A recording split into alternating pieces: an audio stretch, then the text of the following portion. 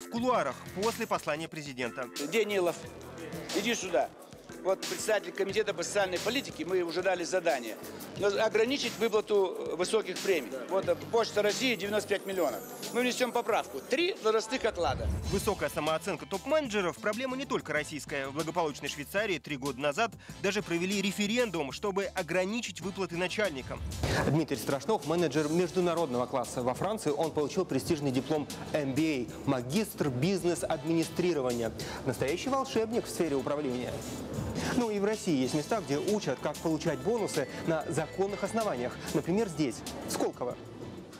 На неделе тут обсуждали мотивацию топ-менеджеров и пришли к выводу, что если разделить 95 миллионов рублей между работниками почты, а их 350 тысяч, толку не будет. 350 рублей э, можно было выплатить каждому сотруднику почты. Ну, как бы, ну и что?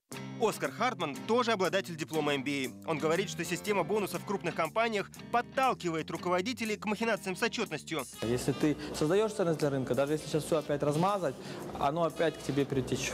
Экономист Никита Исаев, будучи заместителем министра, получал 200 тысяч в месяц, в 8 раз больше подчиненных, по закону о госслужбе. Но во всевозможных в ГУПах и госагентствах руководители могут выписывать себе практически любые премии.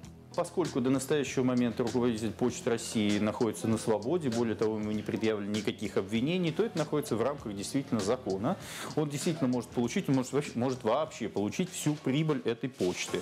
Николай Паничев, бывший министр станкостроения СССР, рассказывает, что в советское время главной мотивацией руководителей была угроза потерять партбилет.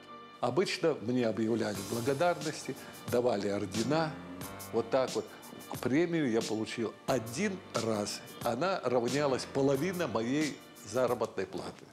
Сейчас судьба расследования в руках Следственного комитета. Уголовное дело могут открыть по двум статьям – злоупотребление полномочиями и халатность.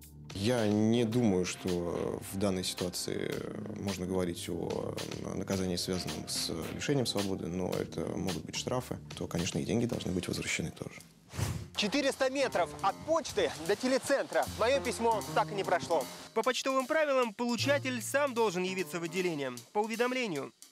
Чтобы доставить письмо из этого почтового отделения сюда же, у Почты России ушло три дня.